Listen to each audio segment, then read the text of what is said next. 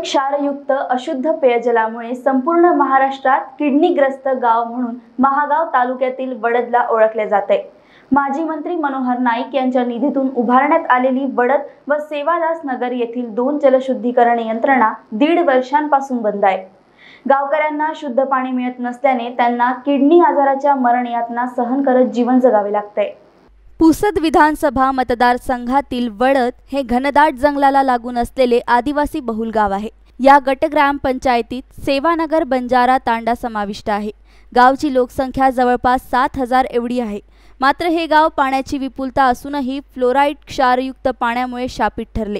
सरकारी नोंदीनुसार या गावातील जवळपास चाळीस किडनीग्रस्त रुग्ण दगावले. स्वाभिमानी शेतकरी संघटनेचे जिल्हाध्यक्ष मनीष जाधव यांनी या लोकांच्या जीवन मरणाचा प्रश्न तत्कालीन मंत्री लोकनेते मनोहर नाईक यांच्यासमोर मांडला होता. त्यांनी तत्परतेने लक्षावधी रुपयांचा निधी आरो यंत्रणा उभारण्यासाठी उपलब्ध करून दिला.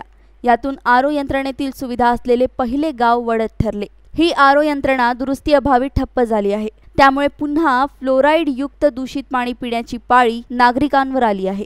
सद्यस्थितीत नागरिक दहा लिटरच्या कॅनला वीस रुपये मोजून ब्रह्मी गावातून पिण्याचे पाणी आणत आहेत.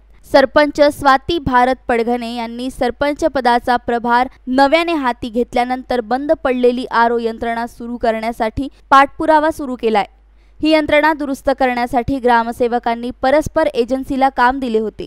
प्रत्येकी तीन लाखांचे दोन धनादेश या एजन्सीला देण्यात आले. प्रत्यक्षात दुरुस्तीचे काम अर्धवटच आहे. नागरिकांना शुद्ध पेयजल उपलब्ध करून द्यावे अशी मागणी जिल्हाधिकारी तसेच जिल्हा परिषदेचे मुख्य कार्यपालन अधिकारी यांना सरपंच स्वाती पडघणे यांनी केली आहे. तर त्याला किडनीचा प्रॉब्लेम होता. मग आम्ही दवाखाना केला.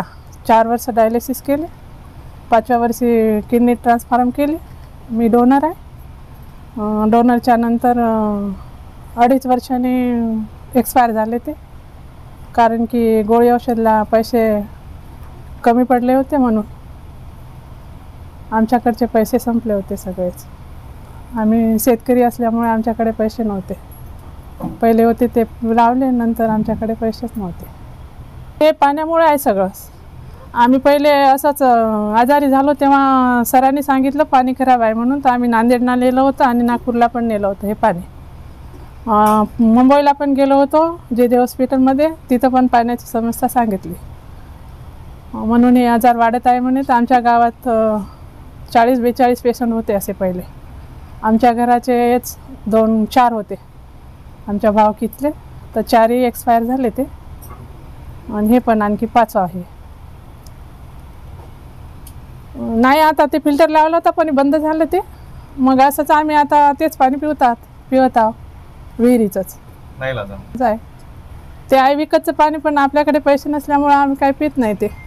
आमच्या गावात किडनीचा प्रॉब्लेम पहिले होता आणि लय लोक आजारी आहे.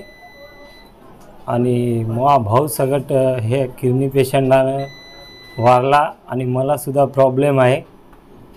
बरेचसे आमच्या गावात असे पेशंट आहे की यांना पाण्याचा त्रासमुळे डॉक्टर लोक सांगते की पाण्याचा त्रास आहे पाण्या सत्तर टक्के सार्क आहे त्याच्यामुळं पाण्याचा प्रॉब्लेम आहे. इथं आरो चालू होता पहिले ते बंद पडलं. तेव्हापासून अजून पेशंट वाढले आमचे. भाऊ भाऊ जे आहे समजा त्यांना दोन चार महिने मेडिकल केलं आणि भरपूर पैसे लावले. त्याच्यानंतर तो वारला आणि मलासुद्धा ह्या किडनीचा प्रॉब्लेम आला. आणि ट्रीटमेंट चालू आहे. पण आता पाण्याचं काही सुविधा नाही आमच्या गावात. पाणी खराब पिया लागते आम्हाला त्याच्यामुळं हे प्रॉब्लेम चालू आहे. आमच्या गावात भरपूर असे पेशंट आहे. एक ते दोन चार पॉईंटपर्यंत किडनीले सुजन आणि काही लोक बरेच पूर्ण सत्तर टक्के गेलेली आहे. अजून पेशंट आहे आमच्याकडे पाण्यामुळे आम्हाला पाण्यामुळे गावातील लोकांना किडनी प्रॉब्लेम खूप होत आहे. ती कमीत कमी तीन चार वर्ष झालेत की पाण्याचा त्रा पाण्यामुळं किडनी लोकांना त्रास होत आहे. तर आत्तापर्यंत आत दोन तीन वर्ष झाले आतापर्यंत पाण्याची तपासणी झाली नाही नमुने पण नेले नाहीत त्यांनी. आता आतापर्यंत कमीत कमी तीन चा चाळीस पस्तीस लोकांचा मृत्यू झालेला आहे किडनी किडनी प्रॉब्लेममुळे. की फिल्टर बंद आहे आणि आम्ही सुरुवातीला की आम्ही हेच ठरवलं होतं की बा आपण एवढी त्रास चालू आहे गावामध्ये किडनी किडनी प्रॉब्लेममध्ये. तर आपण सर्वात पहिले फिल्टर दुरुस्ती करण्यासाठी आम्ही कॉन्ट्रॅक्ट दिलता. तर त्यांनी फसवणूक केली आमची. सहा लाख घेतले आणि फरार झाला तो. हो ना सर? आम्ही प पत्र दिलीत ना त्यांना? कोणाला? पंचायत समितीमध्ये दिले तर पत्र त्यांचा रिप्लाय अजून काहीच नाही आला सर. मी या निमित्ताने आपल्याला सांगू इच्छितो की प्रत्येक म्हणजे जिल्ह्यामध्ये प्रत्येक गावामधील जे आपले पाण्याचे स्रोत आहेत त्यांची आपण दोन प्रकारची तपासणी करतो. एक तर केमिकल ॲनालिसिस आपण करतो आणि त्याचबरोबर जे बॅक्टेरियोलॉजिकल तपासणी म्हणजे दोन्ही प्रकारचे आपण तपासणी दर सहा महिन्याला करतो आपण. आणि त्याच्यामध्ये ज्या गावांमध्ये क्षाराचं प्रमाण जास्त आहे किंवा कुठल्याही क्लोराईडयुक्त जे गावं आहेत ते म्हणजे पाण्याचे स्रोत आहेत त्या ठिकाणी आपण तिथल्या नागरिकांना ते पाणी न पिण्यासाठी आपण त्यांना आवाहन करतो आणि पर्यायी व्यवस्था त्यांची तिथे क- करण्याची व्यवस्था आपण करतो. दुसरी गोष्ट आपण जे सांगितलं की ज्या गावामध्ये एवढ्या मोठ्या प्रमाणामध्ये मृत्यू झाले आहे तर मला असं वाटत नाही की एवढे मृत्यू झाले असावे. परंतु त्या एका गावामध्ये जर अशा प्रकारचे रुग्ण जर तिथे आढळून येत असतील तर निश्चितपणे आम्ही त्या याची दखल आपण जे आम्हाला घेतली त्याप्रमाणे आम्ही दखल घेतलेली आहे. त्या गावामध्ये पुनश्च आम्ही आम्ही तिथल्या तालुका आरोग्य अधिकारीमार्फत आम्ही तिथे टीम पाठवतो आणि तिथे पुन्हा पाण्याची आम्ही तपासणी करून घेतो. आणि घरोघरी सर्वेक्षण करून जिथे जिथे आम्हाला अशा प्रकारचे किडनीच्या आजाराचे रुग्ण आढळून येतील तर ते कशामुळे आहे त्याचा पूर्ण सखोल अभ्यास करू आणि मग त्या पुढच्या ज्या उपाययोजना त्या निश्चितपणे आम्ही तिथे करू.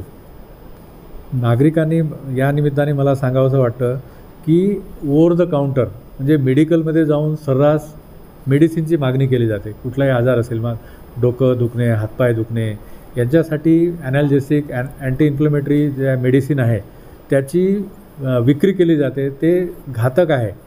अशा प्रकारचं जर मेडिसिन आपण ओव्हर द काउंटर घेतलं तर आपल्या किडनीवर त्याचा परिणाम होऊ शकतो. किंवा किडनी फायर होण्याची शक्यता नाकारता येत नाही. त्यामुळे मला या निमित्ताने सांगायचं आहे की सग सर्व नागरिकांनी एकतर जे रजिस्टर्ड मेडिकल प्रॅक्टिशनर आहे यांच्याकडूनच प्रिस्क्राईब केलेलं मेडिसिन हे मेडिकलमधून घ्यावं. आणि दुसरी गोष्ट म्हणजे जे अनधिकृत डॉक्टर्स आहेत त्यांच्याकडून कुठलाही उपचार त्यांनी करून घेऊ नये. ही सगळ्यांना कळकळीची माझी विनंती आहे. अपने सपनों की उड़ान भरने की इच्छा तो हर किसी की होती है। पर पंख भी तो मजबूत होने चाहिए। जो देता है Flywheel Aviation Academy Flywheel Aviation Academy एक ऐसा इंस्टीट्यूट है जहाँ पर एयरलाइंस एंड एयरपोर्ट हॉस्पिटैलिटी और टूरिज़्म मैनेजमेंट साथ ही यहाँ campus interview guidance by industry expert practical training at airport expert faculty personal grooming जैसे कई सारे बेनिफिट्स आप पा सकते हैं। Flywheel Aviation Academy one degree three job opportunities Flywheel Aviation Academy gives you a degree or diploma with a job. Flywheel Aviation Academy, 365 Gandhinagar, LAD College Square, beside Karnataka Bank, Nagpur.